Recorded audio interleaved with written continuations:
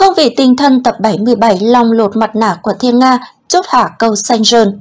Cho dù vợ anh có là ai đi chăng nữa cũng không phải là em. Hương vị tinh thân tập 77 tức tập 6 phần 2, Long đã biết được bản chất thật của vợ sắp cưới sau khi thuê người điều tra, nhất là khi vợ sắp cưới có những lời nói xúc phạm Nam, Long đã tuyên bố câu xanh rơn. Cho dù vợ anh có là ai đi chăng nữa, cũng không phải là em. Trong hương vị tình thân tập 77, Long và vợ sắp cưới đã có cuộc tranh cãi gay gắt liên quan đến Nam.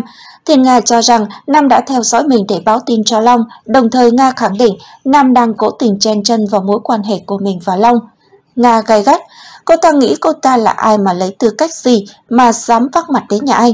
Không phải cô ta muốn khiêu khích em à, không phải cô ta chia rẽ em và anh à, nhưng mà em nói cho anh biết mẹ anh đã một lần không chấp nhận đứa con của một ô xin ăn cắp thì cô ta có làm gì đi chăng nữa cũng không làm vợ anh được đâu. Trước thái độ xúc phạm Nam và những lời nói thiếu kiềm chế của vợ sắp cưới, Long chỉ cười và chốt hạ một câu xanh rơn. Cho dù vợ anh có là ai đi chăng nữa, cũng không phải là em. Ở diễn biến khác, dì của Nga đã đến nhà ông Khang để than phiền.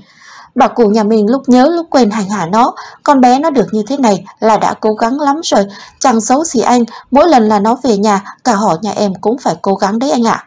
Sảy bảo nó chỉ bảo từng lời ăn đến tiếng nói từ việc bếp núc đến nhà cửa.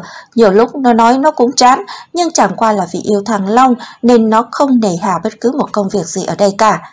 Nghe xong, ông Khang nói thẳng. Tôi nói thật với cô, tôi tưởng nó yêu quý chăm sóc bà thực lòng.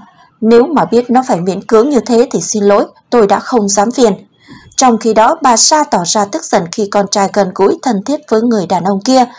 Nói không được nói, nghĩ không được nghĩ, mẹ không muốn con liên quan gì đến người đàn ông ấy đâu, bà Sa nói với con trai của mình.